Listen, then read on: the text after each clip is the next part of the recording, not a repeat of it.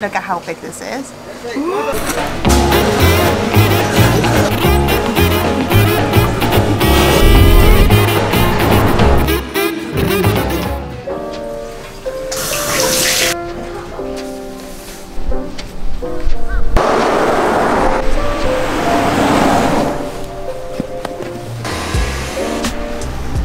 Good morning my loves and welcome to Hakodate in the morning. Oh my gosh, so I've just checked out of the incredible guest house. I've left my luggage there for a few hours, but before I left, she gave me a photo that her husband took of me yesterday and printed it out for memories so I can always remember the guest house. And then she brought out a pair of chopsticks wrapped up in the most beautiful uh, packaging, like in a cloth made out of kimonos, and it had my name engraved in it. Her husband engraved my name, so there's a sushi on it, and I've never had personalized chopsticks before, I'm gonna cherish it for the rest of my life. Like how special is that? What a beautiful, beautiful touch to remember them by. Look at the snow.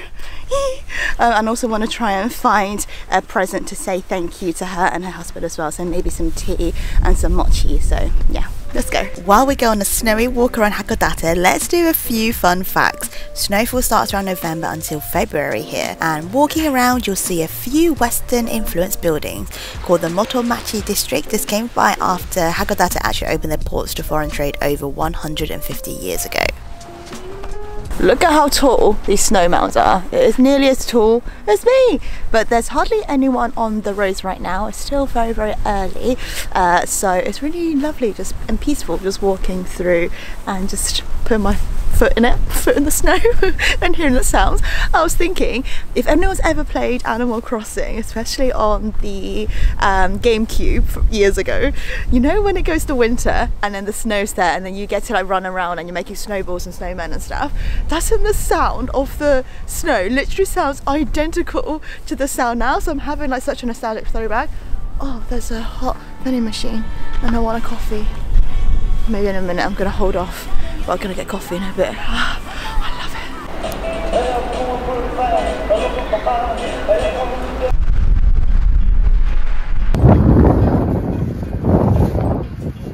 Despite Google Maps leading me to go along the highway, the snow was so high it literally reached above my ankles and I was wading my way through on fresh snow only for a really kind security man to stop me and basically I think to say that I'm walking the wrong way. And then we were there for about 10 minutes with my Say Hi app trying to translate, signal wasn't working so now I'm going to try and find an ice cream shop instead and then try and get a taxi because there was no one there and there was fresh snow along the highway so let's try and find another route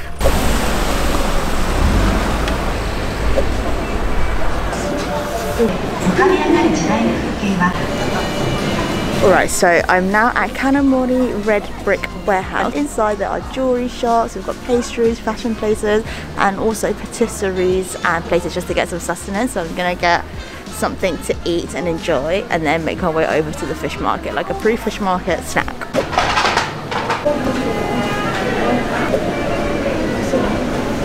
On the left, we have milk and pumpkin flavor, which is a staff recommendation. The one in the middle is purely pumpkin flavor, which is the most popular one, and then milk. So I've ordered the pumpkin one but they're also known for the milk puddings here, so I wanted to give that a try. 360 yen. They also have some macarons and an assortment of pastries and drinks. And look at how cute this plushie is. I want it. This is going to be me after Hokkaido. I have my pumpkin ice cream. It was a lot higher than this, but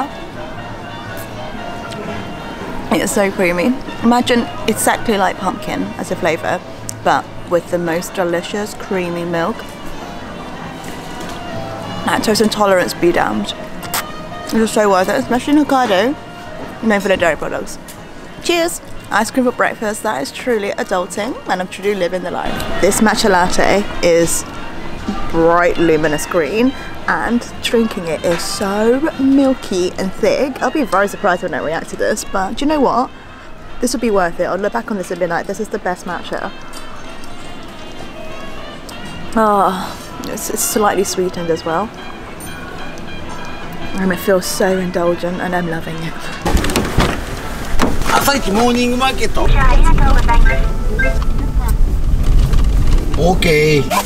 ニングマーケット OK ご確認のほどよろしくお願い Hakodate morning market is very popular amongst Japanese travelers. It's open daily at 5am or 6am if you're visiting between January to April, but come early, otherwise everything closes up by noon. I'm now in the morning market, albeit a little bit late. It's currently 11 o'clock, so all of the madness of the morning market has come to a close, but there are still a lot of stalls open. So if you're into seafood and you're thinking of stocking up, then this is a place to get some dried goods, or you can enjoy some fresh produce here as well. They've also got lots of fruits and veggies. I just tried that sample of the grape, which was 22 pounds English pounds for a punnet. So I'm guessing like the sample I had was like a pound or something. But it was so delicious. It was so sweet. I'm like, I can kind of see why it's 22 pounds, but the fruit in Japan is named to be elite. I've had some such good like peaches here before, apples here before, grapes, strawberries. Like it's just it's so so so good. So if you have the money then definitely indulge but I'm just going to look around and see what the produce but I want to get my hands on some fruit so maybe. But let me show you around. Oh and there's also fish tanks as well so you can see the big old crabs in the tanks. So yeah that's as, as fresh as it gets apart from being directly from the shores themselves. Known for its fresh seafood particularly squid you'll find food stalls dining sharing tables and money exchange machines as you walk in. And then it opens up to the fresh seafood. Squid and crab being the main ones but there are also fruits clothing, dried food, and boxes and boxes of ikura and dried scallops. I wish I could have taken it home.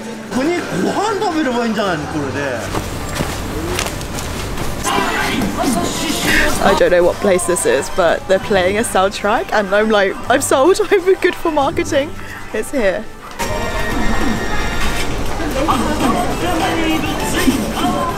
It could be a really touristy place, but I am sold.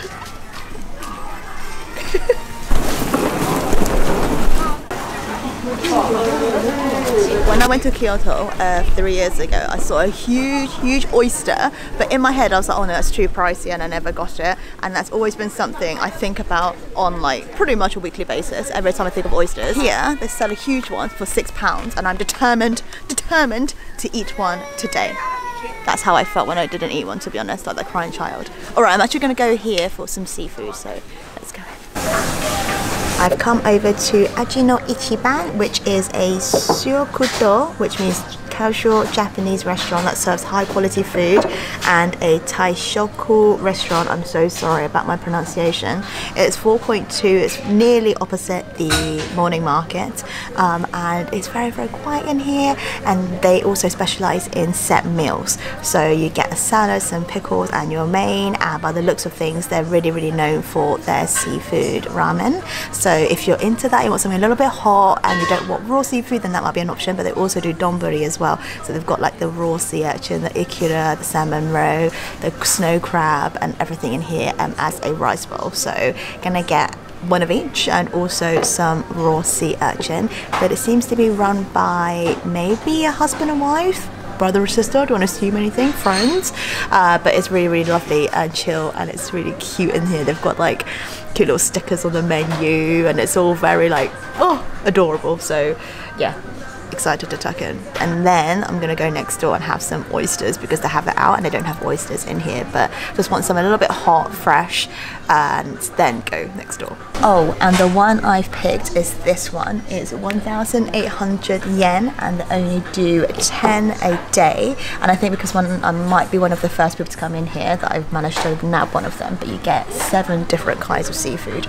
So I'll show you when it arrives, but that's what it looks like. And then you've got a menu of other sets as well. So you've got like rice sets, you've got some dumplings in here as well. Um, and that is that me 1,800 yen is about 11 pounds in today's like currency. Uh, so yeah, mm, so excited. The seafood presented was undeniably fresh, but the fresh wasabi was only available for premium orders then coming standard. The ramen was huge and was very generous with seafood. It's a good all-rounder if you want to have a little bit of everything. I'm about to eat these oysters. It's 1,000 yen for two. I'm finally living my dream of eating an oyster as big as my hand. Look at how big this is. I'm gonna put some lemon and some tomato sauce. Ready? そ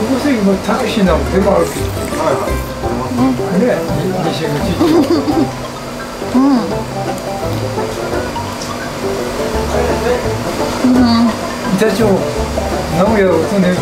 That was so good! It was so big that when I was chewing it, it took me a good like 15 big chews. It was so creamy, so fresh, had some lemon sauce into it as well. I would have liked some shallot like vinaigrette, but you know, it was so, so Thank you, gozaimasu. And uh, oh my gosh, that was so incredible. Guess how much that was for those two oysters as big as my hand? It was 1,000 yen for two. It was six pounds. So it was three pounds each for an oyster this size. It was so creamy and so delicious, and it was everything that I dreamed it would be for the past years. I'm so happy right now. Hmm. and imagine that it is all fresh because the morning market is right opposite as well. So I could go home and be happy. No, but I'm not going to go home, but there's more to eat.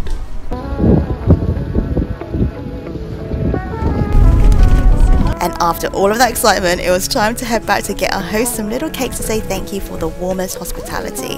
I honestly cannot sing their praises enough. They were even kind enough to drive me to the railway station, which was a two hour round trip, so I wouldn't miss the next train. Bless them.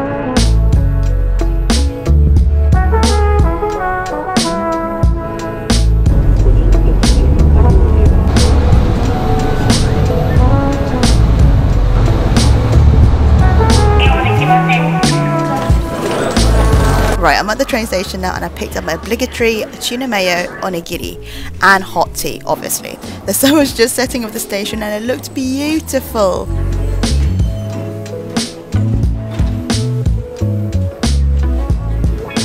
And one of my favourite things about the railway system in Japan is how they label the different sections of the train. I mean, Elfat Lavender, Envo Melon, stop it. I was standing in K for kelp and got onto this local train to Sapporo. I was editing my Chinatown Lunar New Year vlog for the entire journey, so I didn't end up filming.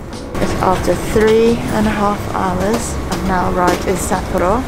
I'm sleepy. I've been editing for three and a half hours and I'm so hungry.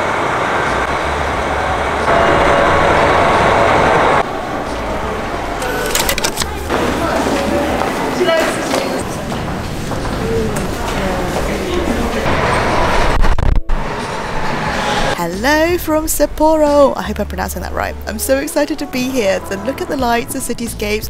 I dropped off my bags and then headed opposite to Ichiran for ramen. I know, I know, it's a chain and you may have expected better from me, but I still had a deadline to hit and I was pooped from the travel and intrigued by the height. And it was very good actually.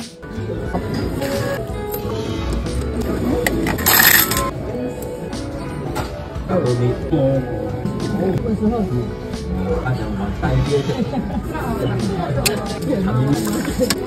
では先に失礼いたします。お待たせいたしました。ありがとうございま